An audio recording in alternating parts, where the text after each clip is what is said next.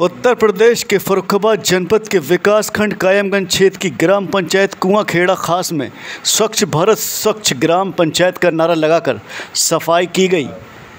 बीते 30 सितंबर को ग्राम पंचायत कुआँ खेड़ा खास में स्वच्छता अभियान चलाया गया।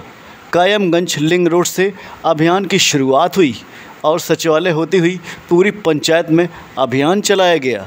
सफ़ाई अभियान में ग्राम पंचायत सचिव अरुण कुमार फौजी, प्रधान प्रतिनिधि शहाब अली, पंचायत सहायक आहड़, रोज़गार सेवक पति जाहिद, सफ़ाई कर्मी राजेश कुमार, हसीब शाबू इलियाज अजीम, शान, राशिद आदि ग्रामीण मुख्य रूप से शामिल दिखे।